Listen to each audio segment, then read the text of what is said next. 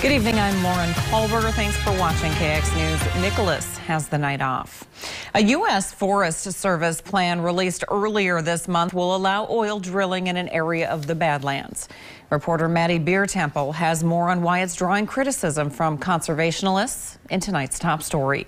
The Little Missouri National Grassland is now open for drilling thanks to a plan by the U.S. Forest Service. What this document does is it attempts to strike that balance between providing the energy needs and still allowing for a very high quality recreational experience by those who come out and enjoy the grasslands. The environmental impact statement signed mid December lays out where those wells can be by opening some roadless areas to oil and gas development within a quarter mile on either side of existing roads. Badlands Conservation Alliance Executive Director Elizabeth Loos opposes that provision. These areas that are currently roadless and that are potentially suitable for wilderness are have a really special character, and those will be compromised if they put oil and gas there. Dakota Prairie Grassland Supervisor Ben South says the document included eight years of input from subject matter experts and the public.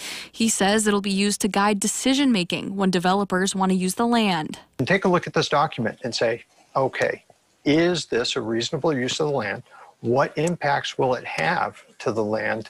And is this something that is within our authority to grant? The area includes about 216,000 acres of previously protected land. Loos says a majority of the grasslands is already open for drilling, and its effects are noticeable. When our members are hiking, um, it's difficult to get away from the sounds of oil rigs and these particular areas that are roadless are really special have a really special character and so we really would like to see them preserved. But south says managing the land in this way is a win for energy production and job creation. We are a very significant contributor to our nation's energy needs. South says there are currently about 300 applications pending by those who want to lease the land for oil.